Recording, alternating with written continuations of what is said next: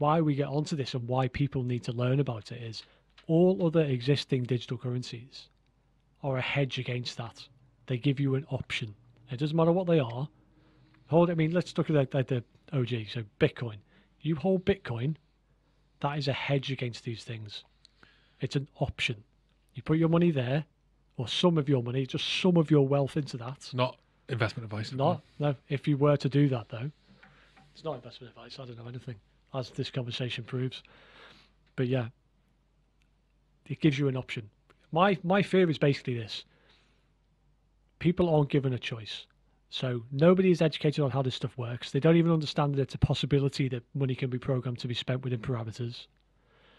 And then one day they wake up and they don't own any other digital assets at all. And all of their wealth and ability to- earn money and all of those things is stuck in a system that they cannot get out of, that they don't have a hedge against. That's my concern. And by educating people now, all it does is give people options. Because some people would love that system. Imagine a scenario where, especially if you get a situation where, you, you know, with automation of jobs, the workforce changes, and that's just, that's going to happen. Loads of stuff's going to be automated. Not everyone's going to have to go to work in the same way. So then universal basic income comes in. Some people would be quite happy. I'm, I'm not judging these people. Some people would be quite happy to sit at home, play on the computer, watch TV, chill, play with their family, and just have a wallet that the government gives them this much to survive on every month. And they, as long as they don't spend it outside of these parameters, everyone's a winner. Some people would love that.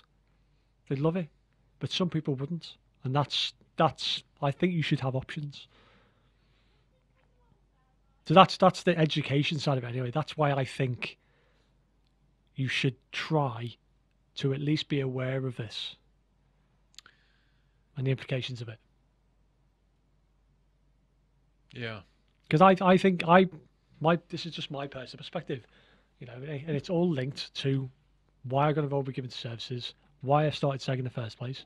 I believe in personal responsibility, and you know, service is part of that. I think service is good for you. I think you being responsible for your own financial situation is quite a good thing.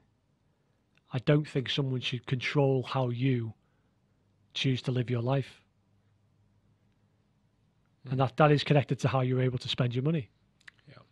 You know, and we are one of the problems we have in this the, the blockchain community in general, the crypto community is regulation.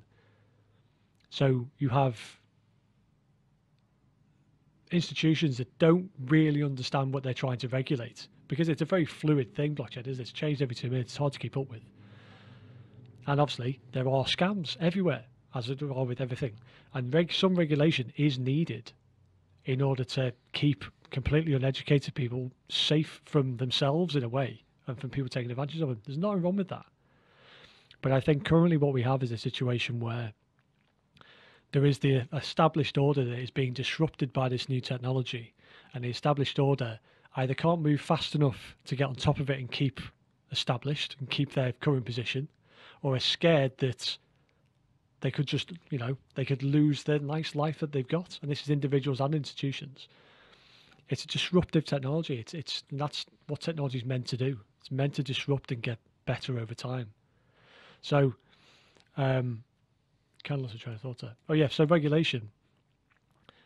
I feel like at the moment because this there's like this this genie that's escaping the bottle in a way, with with blockchains becoming more into public consciousness. Institutions are just flapping and going right. We need to put put it put this back in its box a little bit.